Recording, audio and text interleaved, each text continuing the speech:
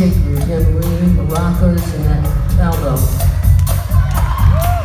He plays some pretty great keyboard parts back there, and you've heard him talk, so he knows he's got a voice. But he can use that voice, not just to yell. He can sing too. He's a man for all seasons.